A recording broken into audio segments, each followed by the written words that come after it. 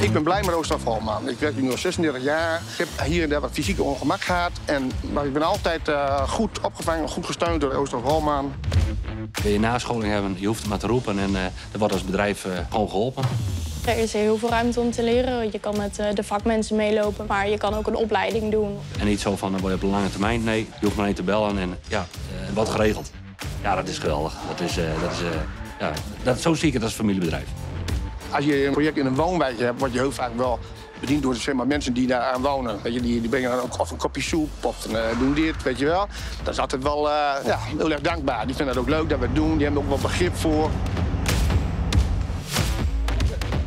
Geen dag is hetzelfde en geen week is hetzelfde. Er zijn altijd dingen die je niet verwacht waar je op moet schakelen. En iedereen wil ook voor, me voor elkaar doen. En dat vind ik gewoon, uh, gewoon prachtig. Wij zijn een infrabedrijf, maar dat, dat was vroeger een infrabedrijf. Maar dat is tegenwoordig zo groot en zo uitgebreid... dat, dat je eigenlijk daar al niet meer van kan uh, spreken. En dan zeggen ze, Oostervolman, oh, jullie zitten alleen maar sanering. Nee, we doen nog veel meer dan alleen sanering. We maken bruggen, we, we, de kunstwerken onder andere. We doen in de groen, we doen in de bebording. En dan zien ze, hé, hey, is Oostervolman zo groot? Ja, Oostervolman is zo groot. En doen jullie dat allemaal? Ja, dat doen wij allemaal. Nou ja, dan kun je al zien van, dat de groei is na zoveel jaar van 175 mensen naar 400 mensen. En we vragen nog steeds meer.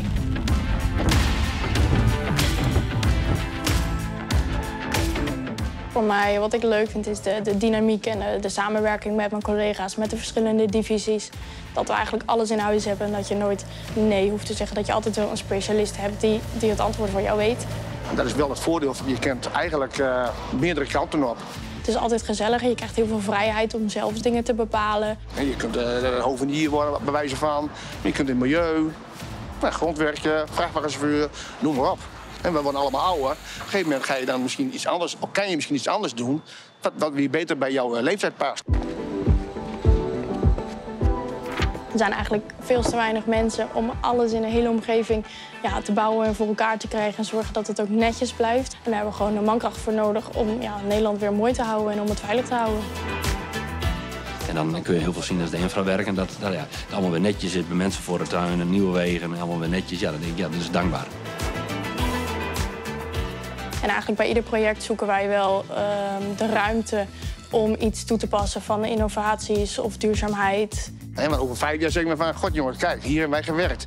Mooi geworden. Je, je creëert iets, je bouwt iets. Dus ja dat, uh, dat is prachtig. Van niets iets maken. De bouw is een mannenwereld en dat zal het ook zeker blijven. Maar het is wel een hele leuke wereld. Ik, ik zou eerlijk zeggen geen andere baas willen hebben. nee, ik heb het heel goed naar mijn zin.